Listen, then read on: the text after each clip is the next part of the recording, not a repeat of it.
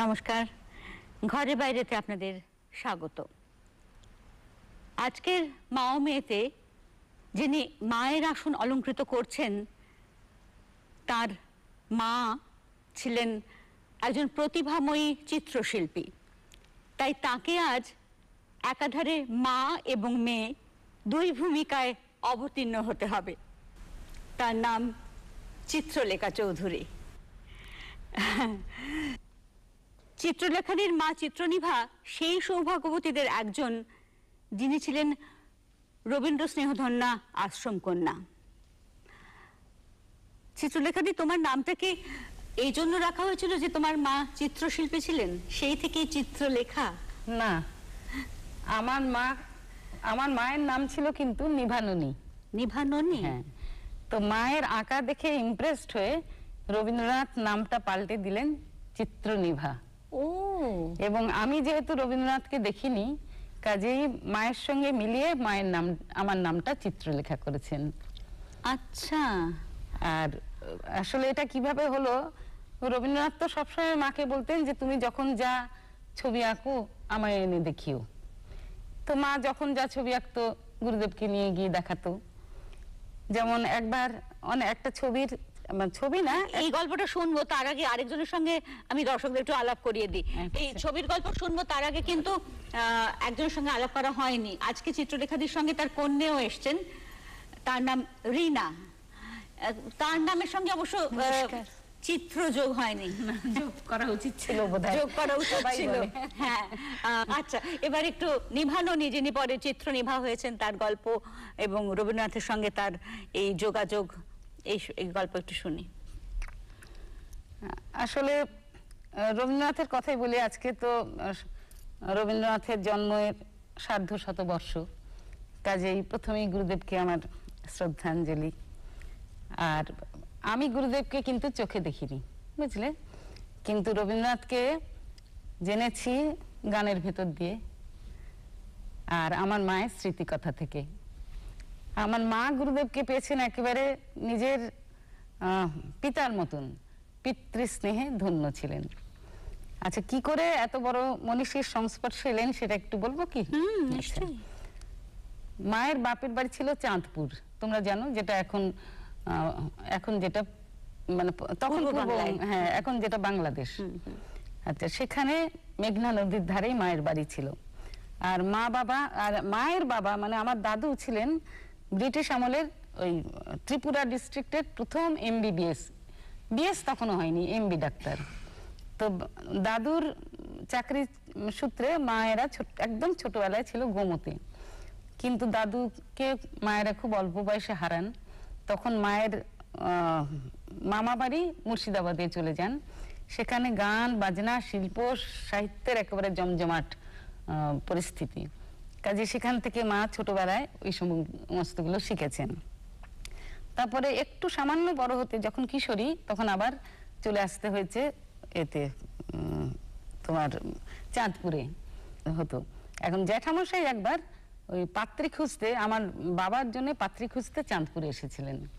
তা চাঁদপুরে আসতে অনেক পাত্রী দেখার পর একটা একজনের মানে একটা পিঁড়ি সুন্দর পিঁড়ি আঁকা দেখে জ্যাঠামশাই বললেন যে, এই পিঁড়িটা কে এঁকেছে? আমি তাকেই দেখতে চাই। তো সবাই বলল এতে একটা ছোট মেয়ে, বাইরে খেলাধুলো করছে। বলল, না, ওকেই আমি দেখব। তারপর ডেকে আনা হলো। তো মাকে বলল যে, তুমি একটা গান করতে পারব? পারবে। তো মা বলল যে, মা তখন রবি ঠাকুরের রবি বাবুর গান কি, তব সিংহাসনের আকর্ষণ হতে যা পারল গাইলো। তো মার গলাতেও মিষ্টি ছিল খুব। তো জ্যাঠামশাই তো ইমপ্রেসড বললেন, একটা সঞ্চয়িতা, তখন তো সঞ্চয়িতা না, ওটা চয়নিকা বলতো। চয়নিকা খুলে দিয়ে বললেন যে কবিতাটা পড়ো তো দেখি কত অজানারে জানাইলে তুমি কত ঘরে দিলে ঠাঁই। তো মা সেটা পড়ল। জ্যাঠামশাই আর কোনো বাক্য বিনিময় না করে এখানেই বিয়ে ঠিক করে বিয়ের দিন ক্ষণ তারিখ সব দিয়ে চলে গেলেন। মানে রবি ঠাকুর ঘটকালি করলেন। ঠিক তাই। আচ্ছা এখন যখন মা শ্বশুর বাড়িতে এলেন তখন আমাদের বাড়িতে একেবারে প্রচুর মানে বিরাট একটা লাইব্রেরি ছিল। সেখানে রবীন্দ্রনাথ নন্দলাল বসু, সববার আঁকা টাকা, নতুন নতুন লেখা রবীন্দ্রনাথের বেরোচ্ছে প্রবাসী প্রবাসী, যত জার্নাল টার্নাল সব ছিল। তো মা সেগুলো দেখে দেখে পড়তো আর ভাবতো যে কি করে এদের সঙ্গে দেখা করা যাবে। তো ঠাকুরমা পিসিমারা ঠিক করলেন যে যখন এত প্রতিভা, এত সুন্দর আঁকে, একে এমন একটা জায়গায় শিক্ষা নিতে পাঠানো উচিত যেখানে এর প্রতিভাটা বিকশিত হবে। তো সেই জন্য সবাই মিলে জ্যাঠা, কাকা, পিসি সবাই মিলে ঠিক করল- ঠিক করলেন। যে মাকে শান্তিনি, র- রবি ঠাকুরের আশ্রম শান্তিনিকেতনে পাঠানো। তারপরে একটা একটা শরতের সন্ধ্যায় বাবা এসে শান্তিনিকেতনে মাকে দিয়ে গেলেন। তো বাবা যখন নিয়ে এলেন, তখন শান্তিনিকেতন আশ্রম বন্ধ। জানতেনও না, তখন পূজার ছুটি। তখন কি করবে? গুরুদেবের কাছে নিয়ে গেছেন। আচ্ছা গুরুদেব তো তখন ওনার ওই কোনারকে থাকতেন। গুরুদেব তো এক এক সময় এক এক বাড়িতে থাকতেন কোনারকে থাকতেন। তো দেখা করেই মানে মা, মার স্মৃতি কথায় লিখেছেন, গুরুদেবকে প্রণাম করে আমার করে জীবন ধন্য হয়ে গেল তখনই। আর গুরুদেবের পাশের ঘরটাতে মার থাকার ঘর করে দিলেন। তো পাশের ঘরটা, কাজেই মা- লিখেছেন স্মৃতি কথায় আমাদের বলেওছেন যে প্রতিদিন ভোরে উঠেই গুরুদেবকে প্রণাম করার সৌভাগ্যটা হতো। উনি ভোরবেলায় উঠে পায়চারি করতে যে সামনে যে গোলাপ বাগান, পায়চারি করতে যেতেন, মা গিয়ে ঢিপ করে প্রণাম করতো আর গুরুদেব তখন ভোরবেলা অন্ধকার থাকতে। আর গুরুদেব মায়ের মানে মাথায় সবসময় আশীর্বাদ করে বলতেন যে, এখানে এসেছ, তুমি সব পারবে, তুমি সব কিছু শিখতে পারবে। আর বারবার বলতেন যে, শান্তিনিকেতন আশ্রম আমি করেছি, মেয়েদের জন্যেই। মেয়েরা সব জায়গায় সবকিছু শিখবার পূর্ণ স্বাধীনতা পায় না সবকিছু শিখতে পারে না। কিন্তু আমি এখানে চাই যে তোমরা ছেলেরা যেমন সবকিছু শেখে তোমরাও তেমনি লেখাপড়া নাচ গান খেলাধুলা মাদের সময় তো জুজুৎসু। লাঠি লাঠি খেলা ছোড়া খেলা সব শেখানো হতো। তো সবকিছু তুমি শিখতে পারো। তো যাক মা তো আরও উৎসাহিত হলো। আর তারপরে পরদিন থেকেই বন বনমালী মানে পরিচারক যে ছিলেন তাকে দিয়ে মা, মাকে এক এক দিন এক এক জায়গায় মা রবীন্দ্রনাথ পাঠিয়ে দিতেন। সকালবেলা কোনোদিন নন্দলাল বসুর কাছে, কোনোদিন দীনেন্দ্রনাথ ঠাকুরের কাছে। তো মা বললেন যে মানে এসেই ছুটির মধ্যেই আমার ক্লাস শুরু হয়ে গেল। নন্দলাল বসুর কাছে আঁকা, দিনদার কাছে গান, ইত্যাদি। তারপর যখন তোমার স্কুল বোর্ডিং খুললো, তখন মাকে গুরুদেব বললেন, ঠিক আছে, এখন তুমি মেয়েদের সঙ্গে থাকতে পারো। গিয়ে ওই দেহলি প্রথম বোধহয় দেহলি তারপর দারিক যাই হোক থাকতে পারো। আর তোমার যখন যা দরকার তুমি আমার কাছে এসে বলবে আর তুমি যখন যা ছবি আঁকবে আমাকে এনে দেখাবে। তো তখনই বললাম যে ওই ছবিগুলো যখন দেখাতো একদিন সমস্ত ছবিগুলো দেখে এতই ইমপ্রেসড উনি বললেন যে আজ থেকে তোমার নাম আমি দিলাম চিত্রনিভা। তো তারপর থেকে উনি চিত্রনিভা বলে ডাকতেন আর বলতেন যে তোমার নামাকরণ করলুম তুমি এবার ঘটা করে খাইয়ে দাও। মা লিখেছে যে তখন আমি রান্না টান্না করতে জানতাম না ইস এখন হলে ঠেসে গুরুদেবকে খাইয়ে দিতাম। একটা ছবি দেখাতে দেখাতে গুরুদেব দেখছেন যে মা এঁকেছে একটা লতার ডিজাইন চারদিকে মাঝখানটা ফাঁকা। তো গুরুদেব জিজ্ঞেস করছেন যে তুমি এই মাঝখানটা ফাঁকা রেখেছো কেন? তো মা তো চুপ করে আছে কিছু খেয়ালে এঁকেছে চারদিক মাঝখান ফাঁকা। তো বললেন যে এটাতে একটা কবিতা লিখে ফেলো না। আসলে নিজেরই হাত শুশুস করছে লেখার জন্য। মাকে বলছেন একটা কবিতা লিখে ফেলো না। তো মা বলছেন যে আমি কি কবিতা লিখতে জানি? তখন গুরুদেব বললেন তাহলে কি এটা আমার জন্যই রেখেছো? মা বললেন আপনি লিখে দিলে তো ভালোই হয়। তো বলে তাহলে আমার টেবিলের উপর রেখে যাও। তো মা তো টেবিলের উপর রেখে ক্লাস করতে চলে গেছে। পরদিন এসে দেখে সেই ফাঁকা জায়গাটা তে ভরে আছে কবির নতুন কবিতা। যখন ছিলে মন্ধ সুখের খেলায় বেলা গেছে পাইনি তো আনন্দ। এই গানটা একটু শোনাও প্লিজ আমি যখন ছিলাম অন্ধ আমি যখন ছিলাম অন্ধ সুখের খেলায় বেলা গেছে। পাইনি তো আনন্দ, আমি যখন ছিলাম অন্ধ, খেলা ঘরের দেয়াল গেথে, খেয়াল নিয়ে ছিলে মেতে খেলা ঘরের দেয়াল গেথে খেয়াল নিয়ে ছিলে মেতে, ভিত ভেঙে যেই এলে ঘরে, ভিত ভেঙে যে এলে ঘরে, ঘুচল আমার বন্ধ সুখের খেলায় আর রোচে না পেয়েছে আনন্দ। আমি যখন ছিলাম অন্ধ। এটুকুই গাইলাম হ্যাঁ? তো যাই হোক এভাবে লেখাটা। তোমরা দেখিও আর কি এনেছি। আর যখন সব সময় আর কি হয়েছে কি মা আরেকজন মায়ের রুমমেট ছিলেন ফিরোজা মাসি মায়ের বন্ধু আর কি খুব প্রিয় বন্ধু ফিরোজা বাড়ি ছিলেন। তো যাই হোক তাকে নিয়ে গুরুদেবের কাছে প্রায় যেতেন। তা এখন গুরুদেব আসলে বলেছিলেন তোমাদের যখন যা কবিতা টবিতা বুঝতে হয় আমার কাছে চলে আসবে। তো ওরা বলতেন মা ওরা বলতেন যে আমরা কখন আসব? সকালে তো ভোর থেকে ক্লাস। আবার রাত্রিরেও, আরে বিকেলের দিকেও খেয়ে আবার ক্লাস। তারপর তো খেলা টেলা খেলাধুলা কম্পালসারি আর রাত্রি অবশ্য উনি একটা অনুষ্ঠানের মতন, সমস্ত নতুন নতুন যা লিখতেন, সেগুলো সবাইকে পড়ে শোনাতেন। যার যা প্রশ্ন, সেগুলো থেকে করতো। তো মারা বললেন যে, এক, আমরা যেতে পারি, দুপুরে খাওয়ার পর একটু বিশ্রামের সময় সেইটুকু আমাদের আছে, সেই সময় গিয়ে আপনার কাছে যেতে পারি।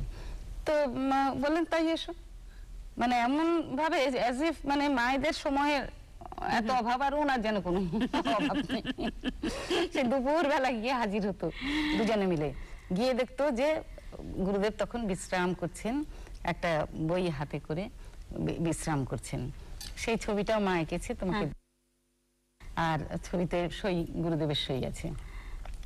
এখন মায়েরা চট করে ঢুকতে তো সাহস পেত না পর্দার আড়ালে আড়ালে দুজনেই বসে থাকতো মানে দাঁড়িয়ে থাকতো। উনি ঠিক টের পেতেন। এসো এসো এসো বলে ওই দুটো মোড়া নিয়ে দুজনকে বসতে দিতেন। তারপরে একের পর এক আবৃত্তি করে যেতেন, জিজ্ঞেস করতেন, কোথায় তোমাদের কোনো অসুবিধে? বুঝতে কিছু প্রশ্ন আছে কিনা? মারা বলতো যে, আমাদের কিচ্ছু প্রশ্ন নেই। শুনতেই এত অসাধারণ লাগছে। মা বলে যে, এখনও আমার কানে মানে বলতো যে, এখনও আমার কানে সেই ঝংকার দিচ্ছে, এত সুন্দর ওনার আবৃত্তি। আরেকবার মা গেছেন গুরুদেবের কাছে, একাই তোমার ওই তখন স্কেচ বুক হাতে সব সময় ঘুরতেন। তো এখন সব, তখন বসন্তকাল, পাতা ঝরে ঝরে পড়ছে মরমর করে। তো তার উপর দিয়ে মা হেঁটে উত্তরায়ণে যাচ্ছেন। গিয়ে দেখেন যে কবি একটা নতুন গান লিখছেন। হ্যাঁ সেটাতে নতুন গানে সুর দিচ্ছেন। ঝরা পাতা গো, আমি তোমারই দলে। তো মা করবে কি? চট করে বসে পড়ে ওই স্কেচ করতে বসে গেল ওনাকে। এখন মা বলছিল যে, আমার ঠিক মনে হলো কবিরও তো ঝরে পড়ার সময় হয়েছে, কাজে সেই করুণ সুরটা যেন সুরের মধ্যেও বেজে উঠছে। তো সেই মায়ের ছবিটা তো মা বলে যে, আমার একটু সেই করুণ ভাবটা এসে যাচ্ছে, গেছে। আর মা বলল, আমি শুনতে শুনতে গানটাও শিখে ফেললাম। ঝরা পাতা গো আমি তোমারই দলে। সেই গানটা একটু শুনতে চাই। আর এই বসন্তী রং দিয়ে তোমার গায়েও তো বসন্তী রং। ঝরা পাতা গো ঝরা পাতা গো আমি তোমার দলে ঝরা পাতা ঝরা পাতা ঝরা পাতা ঝরা পাতা গো, ঝরা পাতা গো, আমি তোমার দলে ঝরা পাতা। অনেক হাসি, অনেক অশ্রু জলে ফাগুন দিল বিদায় মন্ত্র, আমার হিয়া তলে ঝরা পাতা। ঝরা পাতা ঝরা পাতা ঝরা পাতা গো। ঝরা পাতা গো আমি তোমার দলে ঝরা পাতা। ঝরা পাকা গো বাসন্তী রং দিয়ে শেষের বেশে শেষের বেশে সেজেছ তুমি কি? খেলিলে হলে ধুলায় ঘাসে ঘাসে বসন্তের চরম ইতিহাসে। তোমার মতো আমার উত্তরে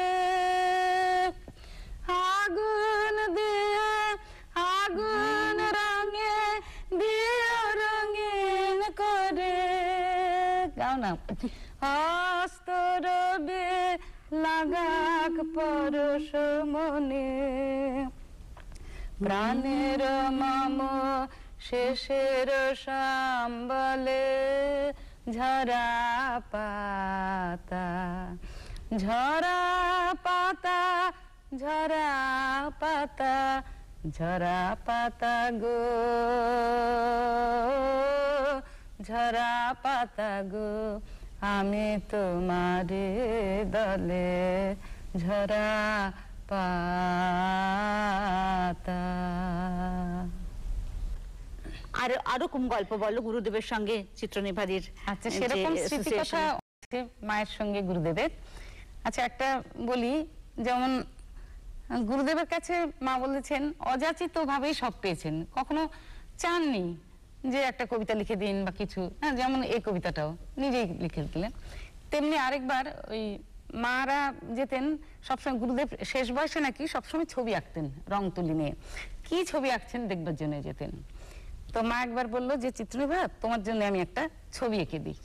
তো ছবিতে একটা বুড়ো মানুষ লাঠি দিয়ে ভর করে মানে মা বুঝতে পারছেন যে এটা সেলফ পোর্ট্রেট গুরুদেব নিজেকেই এঁকেছেন। তো গুরুদেব এত সুন্দর দেখতে ছিলেন আর এই ছবিটা দেখে মার একটু পছন্দ হয়নি। তো মা বলল যে এটা আমার ভালো লাগছে না আরেকটা এঁকে দেবেন। হ্যাঁ আসলে ছবি হিসাবে তো সেটা অমূল্য কিন্তু মা চাইছিলেন যেহেতু সেলফ পোর্ট্রেট গুরুদেবের মতন সুন্দর একজন সুপুরুষ কাউকে এঁকে দেবে হয়তো। তো যাই হোক ওই বুড়োকে দেখে মার একটু পছন্দ হয়নি মাকে পরে উনি বললেন যে ঠিক আছে তোমারটা যখন পছন্দ হয়নি আমি আরেকটা বড় করে এঁকে দেবো তোমাকে। তো মা যখন দেশে চলে এলেন মা বলল যে আমি একদম ভুলে গেলাম গুরুদেবের কাছে যেতে যে যে বড় ছবিটা এঁকে দেবেন বলেছিলেন সেটাই আর আনা হলো না সেই দুঃখ এখন সেটা আর পাওয়া যায় সেটা আর পাওয়া যায় যাকে যেটা পাওয়া গেছে সেটা তোমাকে দেখাবো। ঠিক আছে। কিন্তু এ তো গেল গুরুদেবের কথা এবং মানে এসব কথার তো আর শেষ হয় না। হ্যাঁ, এত স্মৃতি আছে। কথা শুনতে শুনতে তোমার এবং তোমার কন্যার কথা সব বাকি রয়ে গেল সেগুলো আমরা পরবর্তী পর্বের জন্য তুলে রাখলাম। আহ, কিন্তু আজকের পর্ব শেষ করব তোমাদের দুজনের গানে। রিনা আর তোমার গান দিয়ে আজকের পর্ব আমরা শেষ করতে চাইছি। কি গান গাইবে? গান গাইবি? ভেঙে মোর আচ্ছা। ঘরের চাবি হ্যাঁ, ঠিক আছে গলা খুলে গা চড়াটা তুই গাইবি আমি পারব ভেঙে মোর ঘরের চাবি নিয়ে যাবি কে আমারে? বন্ধু আমার, ভেঙে মোর ঘরের চাবি নিয়ে যাবি কে আমারে? ও বন্ধু আমার, না পেয়ে তোমার দেখা, একা একা দিন যে আমার কাটে না রে। ভেঙে মোর ঘরের চাবি নিয়ে যাবে কে আমারে? ও বন্ধু আমার। বুঝি গো রাত পোহালো, বুঝি ওই আলো, আভাসে দেখা দিল গগন পারে বুঝি গো রাত পোহালো, বুঝি ওই রবির আলো আভাসে দেখা দিল গগন পারে। সম্মুখে ওই হেরি পথ তোমার কি রাত পৌঁছবে না। মোর দুয়ারে ভেঙে মোর ঘরের চাবি নিয়ে যাবি কে আমারে? ও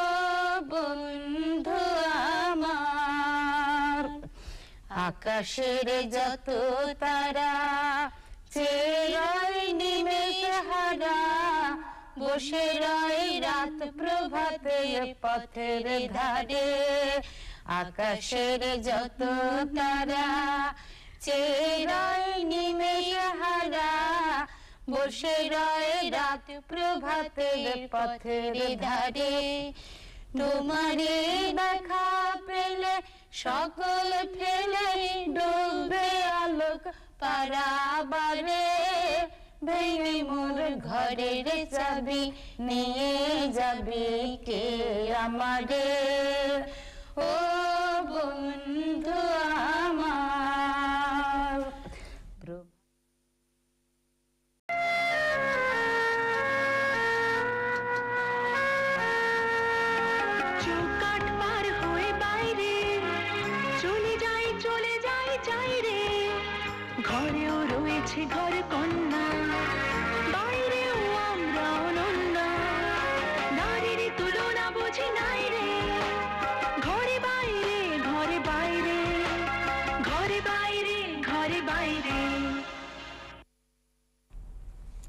নমস্কার।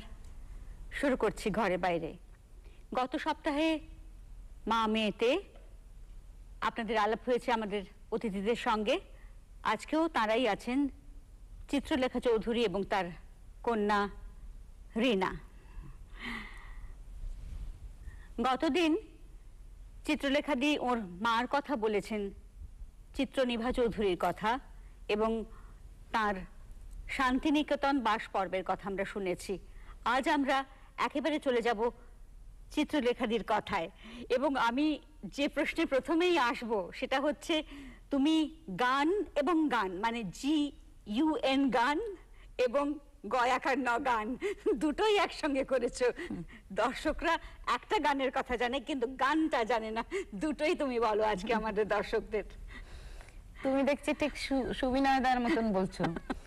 আমি যখন ওই all India ready all India তে রাইফেল শুটিং এ ফার্স্ট হয়ে এলাম। তখন যে কোনো ফাংশনে গেলে সুবিনয়দা আমায় জিজ্ঞেস করতেন চিত্রলেখা কি শোনাবে? গয়াকার ন গান শোনাবে না জিউএন গান? তা যাই হোক প্রথমে গয়াকার নটাই বলি। ওটা বলতে গেলে একদম প্রথমে তো মায়ের কাছ থেকে এসেছে। আর মা করতো কি আমাদের বাড়িতে বললাম যে বাবা জ্যাঠামশাই কাকা সবাই বেশিরভাগ সব মানে সায়েন্সের লোক, প্রযুক্তিবিদ, কেউ গানের ধার দিয়ে নেই বুঝেছ তো? এমনকি খুঁড়তো তো, জ্যাঠতো তো, দাদা দিদিরাও একদম গান করতো না, করেনি। মা যদিও বিয়ের পরে এসে খুব গানের ক্লাস ক্লাস খুলেছিল, তো মা দেখল যে কারও তেমন গলা নেই। তো মা সেজন্য ভেবেছিল যে আমি তো নিশ্চয়ই সেরকম একটা জন্মেছি, আমার সুর তাল নিশ্চয়ই কিছুই থাকবে না। তো সেই জন্য যখন আমাকে ঘুম পাড়াতো জন্মাবার পর থেকে তখন আমার কানের কাছে এসরাজ সেতার বিনা এগুলো বাজিয়ে বাজিয়ে ঘুম পাড়াতো। কারণ মা শান্তিনিকেতনে কলাভবনে যখন কলাভবনে স্টুডেন্ট ছিল হ্যাঁ। তখন কিন্তু সংগীত ভবনে ওই এসরাজ সেতার বিনা এসব কোর্সগুলো নিয়েছে। আচ্ছা। কাজে তখন তো এরকম সবই নেওয়া যেত। আলাদা ডিপার্টমেন্ট থেকেও সবকিছু নেওয়া যেত। তো সেগুলো সেই জন্য কানের কাছে এসরাজ বাজিয়ে বাজিয়ে গান ঘুম পাড়াতো সেতার বাজিয়ে বাজিয়ে ঘুম পাড়াতো এসবগুলো করতো তো মা ভাবতো তাহলে যদি একটু সুরের চেতনা আসে এক করে। দেখো এই যে মিউজিক থেরাপির কথা আমরা আজকে বলি এটা কিন্তু এক ধরনের ওই ওই কানে শুনে শুনে কিন্তু তোমার এই যে হ্যাঁ। যাই হোক একেবারে ছোটবেলায় তো মার কাছেই শিখেছি তারপরে একটু বড় হতেই মা তো নিয়ে যেতেন প্রথম ইন্দিরা দেবী চৌধুরানীর কাছে। উনি তো একেবারে ধরে ধরে আমাকে বিবিদি বলতে। বিবিদি বিবিদি ধরে ধরে একেবারে স্বরলিপি ছোটবেলাতেই একেবারে যে অ আ ক খ যেভাবে- শেখায় স্বরলিপি পড়ে পড়ে আমাকে শিখিয়ে দিতেন। কাজে ছোটবেলা থেকে খুব স্বরলিপি এই জন্য পড়তে সুবিধা হতো আর কি। আর বিবিধির কথা বলতেই আমার মনে পড়ছে যে ছোটবেলায় আমাকে ওই বাল্মীকি প্রতিভার বালিকা ওরে বাবা সেটা তো আমার নিজস্ব অভিজ্ঞতা আমি তো ভাবছিলাম বলব। আহ, বাল্মীকি আর তুমি বালিকা। এটা অনেক বড় বয়স পর্যন্ত বড় বয়স অব্দি করেছ এবং অনেকেই বলতো মানে কঙ্করদা তুমি যখন তখন বিদেশে থাকতে তুমি হ্যাঁ, আসতে বালিকা নিউ এম্পায়ারে তোমাকে আমি প্রথম দেখি বালিকা করছ। তুমি হ্যাঁ, তখন তুমি অনেক মানে তখন, হ্যাঁ, কঙ্করদা কিন্তু তুমি এলে মানে ক্ষেমেন্দ্র মোহন সেন কঙ্করদা বললে হয়তো অনেকেই বুঝবে না কীর্তি মোহন সেনের ছেলে হ্যাঁ। আমাদের যিনি কি বলব সর্দার বলি আর কি দলনেতা আর কি কঙ্করদা হ্যাঁ, তোমাকে ডেকে পাঠাতেন এবং তুমি বালিকা করতে হ্যাঁ। সে আমার সবাই আরও প্রথম বুঝবে আরও দেখা চিনবে ছোটবেলায়। অ- অমর্ত্য সেনের মামা তো কিন্তু তোমাকে ডেকে পাঠাতেন তুমি হ্যাঁ। যখন আসতে আহ, তুমি বালিকা করতে তখন বালিকা বয়স তোমার একেবারেই নয় কিন্তু তুমি কি সুন্দর আমার মানে অদ্ভুত লাগতো হ্যাঁ। আমি কিন্তু বালিকার গান শুনব তুমি আগে গান আর গানের কথাটা বলে নাও বালিকার গান তোমায় গাইতে আচ্ছা। হবে কাজে একেবারে ছোটবেলা থেকে বলি তারপরে তুমি তো বড় বয়সে দেখেছ মানে আমাকে সবাই বলতো পার্মানেন্ট পার্মানেন্ট বালিকা হ্যাঁ। বালিকা আর কাউকে আমরাও ছোটবেলা থেকে ওইটাই শুনতাম যে ওই যে পার্মানেন্ট বালিকা এসে আসে বড়রা বলতো। তার কারণ হলো মানে এখন যেটা হয় দেখি বাল্মীকি প্রতিভা তো এখনও হচ্ছে সবাই খুব সুন্দরই করছে। কিন্তু যেটা হচ্ছে ভেতর থেকে কেউ গান গেয়ে দিচ্ছে বাইরে নাচ হচ্ছে। কিন্তু আমাদের সময় অপেরা যেটা একদম। রবীন্দ্রনাথ যেটা চেয়েছিলেন করেছিলেন। বাল্মীকি প্রতিভা তো অপেরা হিসেবে করেছেন। কাজে গেয়ে গেয়ে করা দস্যুরাও গেয়ে গেয়ে অ্যাক্টিং করতো। তারপরে বাল্মীকি বলো বালিকাই বলো সবাই গেয়ে গেয়ে অ্যাক্টিং করতো। সেই জিনিসটা এখন নেই বলেই বোধহয় সবাই ওইটা স্মৃতিটা বেশি করে মনে রেখেছে। তো যাই হোক সেটা প্রথম স্মৃতিটা বলছি। সেটা হলো বিবিধি ঠিক করলেন আমাকে বালিকা হতে হবে। তখন তো আমি একেবারে বালিকাও না আরও কম বয়স। তো যাই হোক ইয়ে রিহার্সাল হতো উত্তরায়ণের বারান্দাতে হ্যাঁ? আর উত্তরায়ণের ঘরের ভেতর যেটা মায়েদের সময় ওটা ডাইনিং হল নাকি ছিল সেখানে একটা ওই পিয়ানো ছিল। সেটাতে বিবিধি পিয়ানো বাজিয়ে বাজিয়ে বাজিয়ে গানগুলো তোলাতেন হুম? আর ওইখানে আমাদের রিহার্সাল তখন হতো। সেই বাল্মীকি প্রতিভা বলো ভানু সিংহের পদাবলী বলি বলো আমার মনে আছে ভানু সিংহের পদাবলী তার শেখাবার সময় বুড়ি দিই মানে রবীন্দ্রনাথের মেয়ের মেয়ে মানে মীরাদির মেয়ে। হ্যাঁ, হুম। বুঝেছি। উনি আমাদের শেখাতেন তখন নন্দিতা কৃপানালী। হ্যাঁ। উনি তখন খুবই বয়স্ক খুবই। তো কিন্তু ওই হাত পা মেরে এত সুন্দর করে শিখিয়ে দিতেন। তা আর বালিকার পাঠটা আমার মনে আছে শেখাতেন আমাকে ওই অমিতা অজিন চক্রবর্তীর স্ত্রী অমিতা দেবী সে যুগে নাকি বিখ্যাত বিখ্যাত গাইয়েছিলেন। গাইয়ে না। তিনি নাটক করতেন অভিনয়। ও আচ্ছা আচ্ছা। হ্যাঁ, বিখ্যাত গাইয়েছিলেন অমিতা সেন। হ্যাঁ। তাকে আমি কোনোদিন চোখে দেখিনি। মা বলতেন যে অসাধারণ কণ্ঠ। মা বলতেন যে মায়ের লেখায় হ্যাঁ, পড়েছি ওর কথা। ওই যে ঘুম ভেঙে উঠতো মা বলতো যে খুকুর কণ্ঠের গান শুনে আমার হ্যাঁ, অসাধারণ। আরেকজন অমিতা ছিলেন যে যে তুমি বলছো যে এই অমর্ত্য সেনের মা তিনি নাচতেন। তিনজন একজন অভিনয় করতেন ভালো একজন নাচতেন আর একজন গান করতেন। আর ইনি হলেন যিনি অভিনয় করতেন তিনি আমাকে দেখিয়ে দিলেন যে বালিকার পাঠ কীভাবে করতে হবে। যে ওই মেঘ করে বুঝি গগনে হ্যাঁ? সে গেয়ে গেয়ে গেয়ে করতে হবে। আধারো ছায়া আমার এখনও মনে আছে। সে কি সুন্দর করে হ্যাঁ, বলে বলে বলে বলে গে গে বলো। ওই মেঘ করে বুঝি গগনে।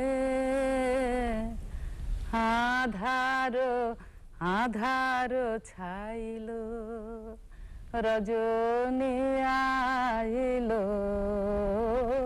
আধার ছাইল রজনী আইল। আর ঝোপে ঝাড়ে অনেক দস্যু টস্যু আছে মনে করে এক দস্যু। ঘরে ফিরে যাব কেমনে? ওই মেঘ করে বুঝি গগনে। চরণ অবসহায় শ্রান্ত ক্লান্ত কায় সারা দিবস বন ভ্রমণে ঘরে ফিরে যাব কেমনে? ওই করে বুঝি গগনে। একে ঘোরবন, এনু কোথায়? পথ যে জানি নে। তুমি একটা দস্যু। মোরে দেখায় দে না। কি করি এ আধার রাতে? কি হবে মোর হায়? কি ঘোরবন? এলো কোথায়? এটা এখানে নেই আমার চলে গেছি জানি না দর্শকরা বুঝতে পারছেন কিনা। কি অসম্ভব মানে আমি- নেই সত্যি আমি সাক্ষাৎকার নিচ্ছি না এখানে বসে নেই। সেই ছোট্টবেলায় নিউ এম্পায়ারে প্রথম তোমাকে দেখছি তখন তো রবীন্দ্র সদন হয়নি কিচ্ছু হ্যাঁ, হয়নি আমাদের স্টেজে উঠতে দেয় না পূর্ণিমা দি হ্যাঁ, হ্যাঁ। শুধু সুভেনিয়ার বিলি করতে দেয় অত ছোট তোমায় প্রথম দেখেছি। তারপর যে যখন বাল্মীকিরা সব ধরে টরে আরে সব দস্যুরা সব ধরে টরে একেবারে বাল্মীকির কাছে নিয়ে গেল আমাকে। হ্যাঁ। তখন ওই তখন একটা গান কি দোষ? এদিকে হাত করা। বাঁধিলে আমার আনিলে কোথায়? পথ হারা একাকিনে বনে অসহায় রাখো রাখো রাখো। বাঁচাও আমায়। দয়া করো অভাগিরে দয়া করো গো। বন্ধন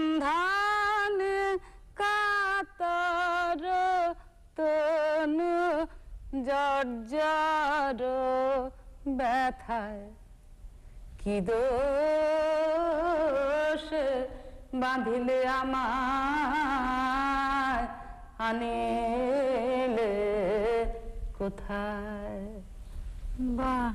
এই বাল্মীকিকে বলা। হ্যাঁ, আর তরুদার ওইরকম চেহারা তার। বা- তুমি ছোটখাটো তোমার চেহারা কি যে লাগতো। যারা দেখেছেন তারাই হা। কি দশা এক লাইন গাইতে পারে। হায় কি দশা হলো আমার কোথা গোমা করুণাময়ে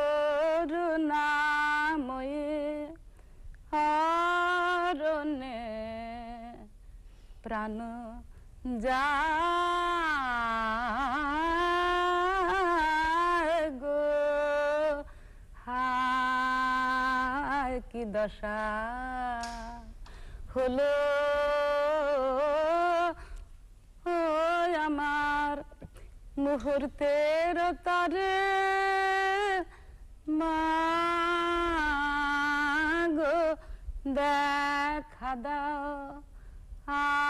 আমারে জন্মের মতো। ও বিদায়। বলে ওইখানে স্টেজে একেবারে সমর্পণ নিজেকে। তো যাই হোক গানটা বিবিধির কথা বলতে বলতেই মনে পড়ল বাল্মীকি প্রতিভার কথা। বিবিধির কাছে খুব যত্ন করে উনি আমাকে শিখিয়েছেন। আর শৈলজাদা সেই সময় শৈল আমাদের সময় শৈলজাদা ছিলেন সংগীত ভবনের প্রিন্সিপাল। তো উনি আমাকে ওই যে সমস্ত গান আমার সোলো গান থাকতো বর্ষা মঙ্গলে বলো বা বিশেষ করে মন্দিরে। হিতমন দাদু তখন মন্দিরে পাঠ করতেন।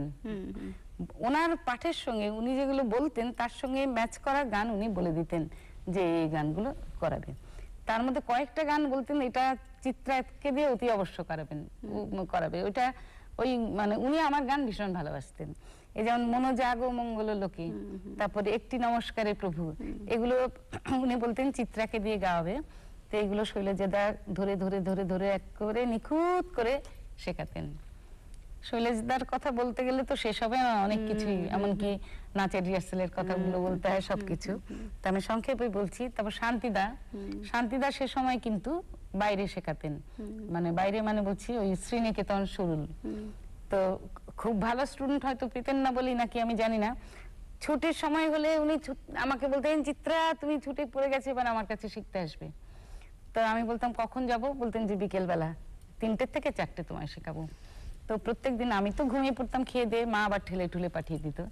তো শান্তিদার কাছে তিনটে থেকে চারটে সময় যেতাম। কত গান যে শিখিয়ে দিয়েছেন সে সময়। এই যে কৃষ্ণকলি, আমি তারই বলি, ওহে জীবন বল্লভ তখন ওনার গলা এত অসাধারণ ছিল। ওহে জীবন বল্লভ কত অনুষ্ঠানে উনি গিয়েছেন, অপূর্ব। তুমি যদি শুনতে চাও একটু করে দিয়ে সময় আমি বোধহয় সব গানগুলো শুনব কিন্তু তার আগে আমি একটু ওই জিউ জি ইউ এন গানের আচ্ছা। গল্পটা শুনে নিই আচ্ছা সেটা হলো বলি যখন এমএসসি পাশ করার পরে ওই সিটি কলেজে পড়াতে শুরু করলাম হুম। হ্যাঁ তোমার অধ্যাপনার কথা তো আমায় আসতে হবে কারণ সেটাই তো তোমার অনেকটা জায়গা জুড়ে রয়েছে কাজে আগে তুমি রাইফেল শুটিং এর কথাটা বলো সেটাই রাইফেল শুটিং এ বলছি। যখন সিটি কলেজে পড়াতে এলাম, তার আগে তো চীনের যুদ্ধ টুদ্ধ হয়ে গেছে।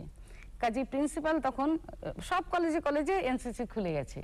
কিন্তু নিয়ম হলো প্রফেসরদের মধ্যে একজন অফিসার ইনচার্জ না হয়ে এলে এনসিসি সেই কলেজে খোলে না।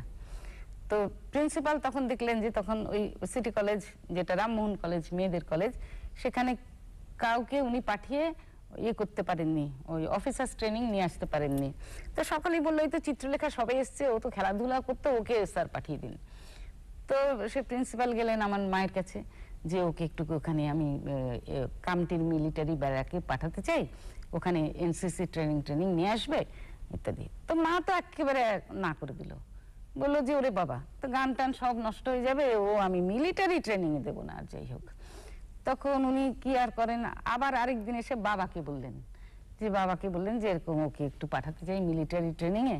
জানেন তো এখন তো দেশের এই অবস্থা প্রত্যেক কলেজে কলেজে ওই এনসিসি না খুললে প্রত্যেকের একটু মিলিটারি ট্রেনিংটা নেওয়া দরকার। বাবা বলল নিশ্চয়ই এক্ষুনি পাঠিয়ে দিন। দেশের জন্য প্রাণ দেবে না তো কার জন্য দেবে? ব্যাস ওনার তো খুব মজা হয়ে গেল। মাকে বললেন যে, দেখুন, আপনি কি চিন্তা করবেন না? বরং শরীর ভালো হয়ে তখন আমি ভীষণ রোগা ছিলাম। মাঝখানে মোটা হয়েছিলাম, এখন আবার রোগা হয়ে গেছে আগের মতন। তো যাই হোক, তো বললেন যে শরীর ভালো হয়ে যাবে? পাঠিয়ে মা বলল যে, ওর তো গান টান সব নষ্ট হয়ে যাবে। তখন রেগুলার রেডিওতে গান করি। তখন টিভি তো ছিলই না। কিন্তু রেডিওতে তো একদম মানে স্টুডেন্ট লাইফ মানে স্টুডেন্ট লাইফে তো করিয়েছি। তারপরে কলেজ লাইফে একদম বড়দের মধ্যে থেকে সে আজ পর্যন্ত করছি আর কি। তা যাই হোক, এখন মা বলল, গান টান সব নষ্ট হবে।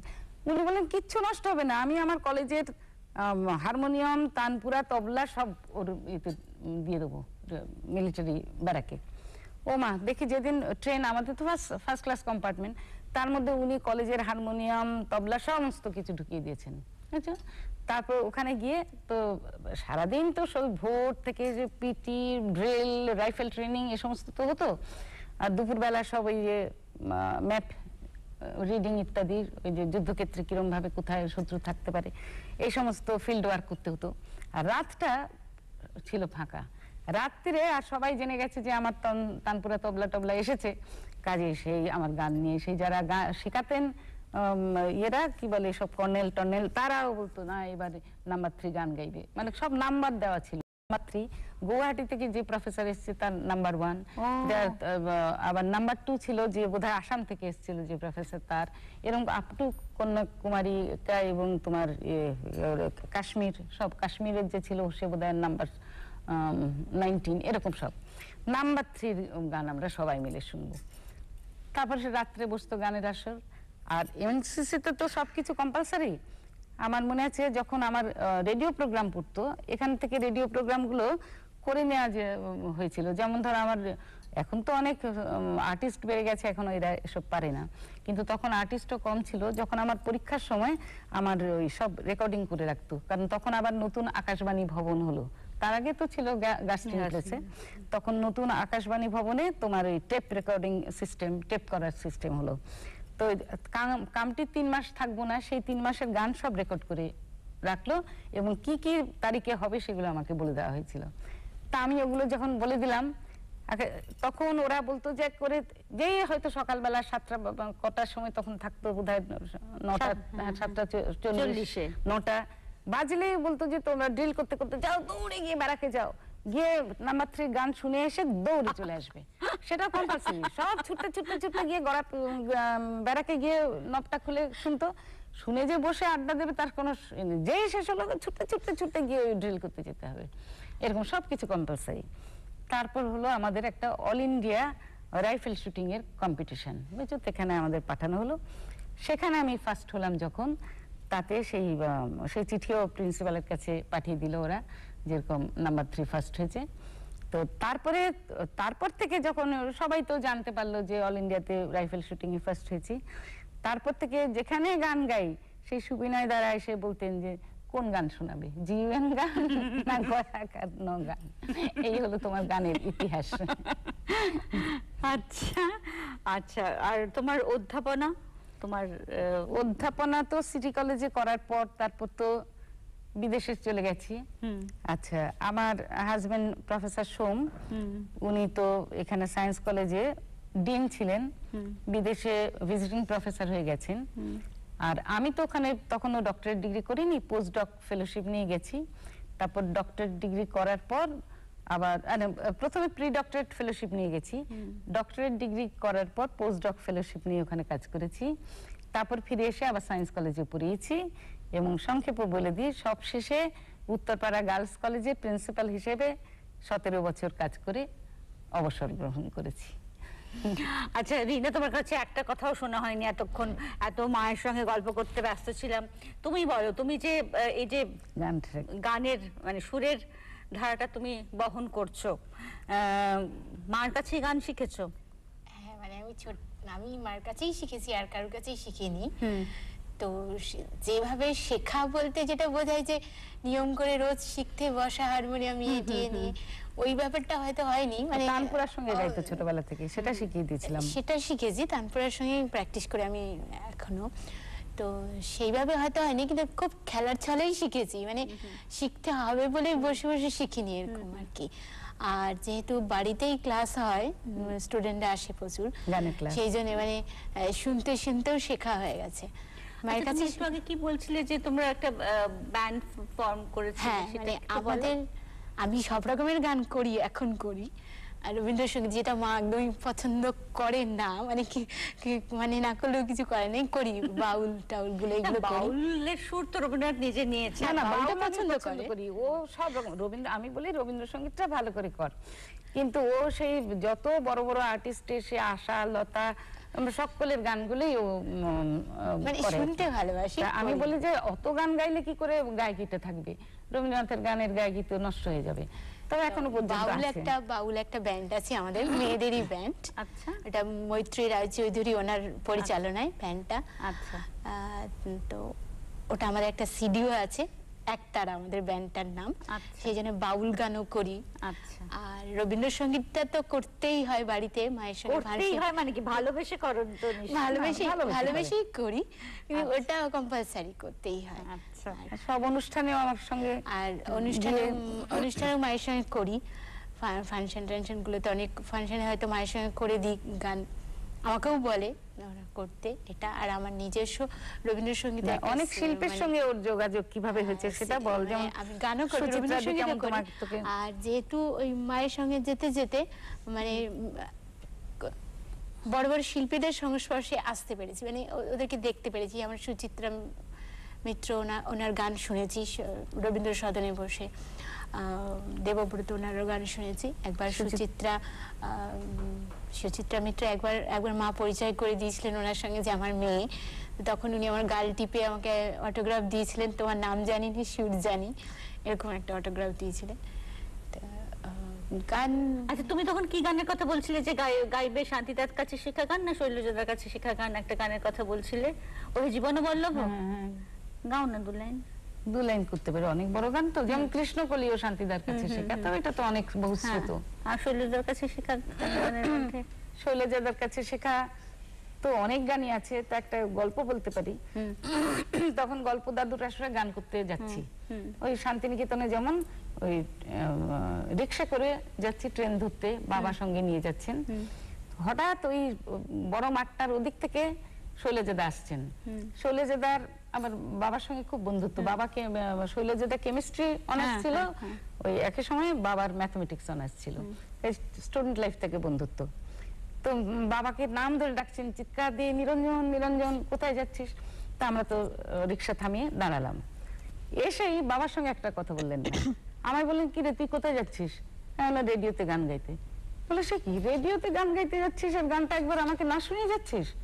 তা আমি বললাম যে এটা তো আপনার কাছেই শেখা। আমি তো ভেবেছি যে না চাহিলে যারে পাওয়া যায় গাইবো তা আপনার কাছেই শেখা।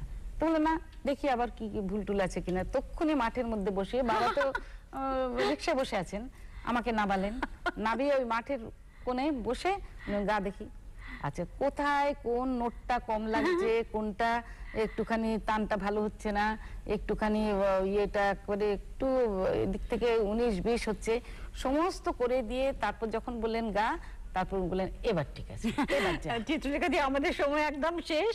কাজেই কোন গান দিয়ে তুমি শেষ করতে চাও? সেরকম একটা গান দিয়ে আজকের আমরা অনুষ্ঠান শেষ করব। দুটো পর্ব নিয়েও আমাদের কথা শেষ হলো না কিন্তু কিচ্ছু করার নেই। আরও আরও গান শুনতে ইচ্ছে করে।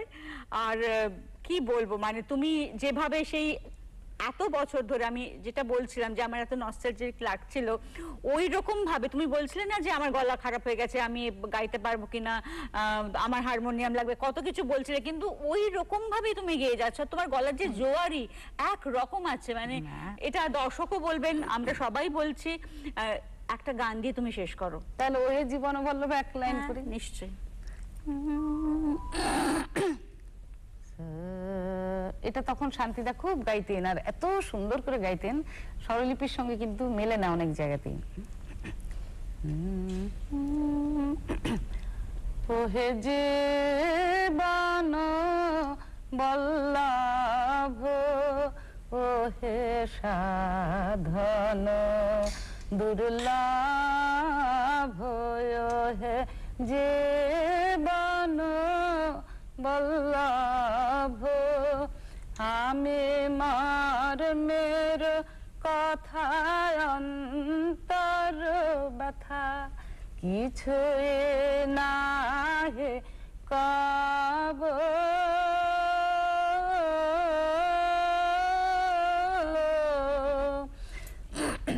শুধু জীবন মন চরণে দিন বুঝিয়া লহ সব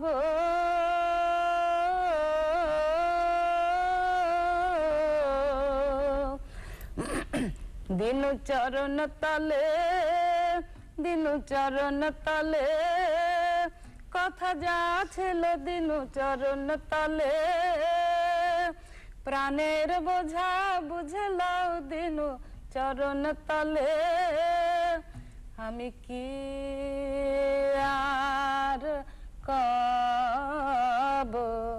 ওহে যে বন বল্লাভ ওহে সাধন দুর্লাভ ওহে যে বন বল্লভ।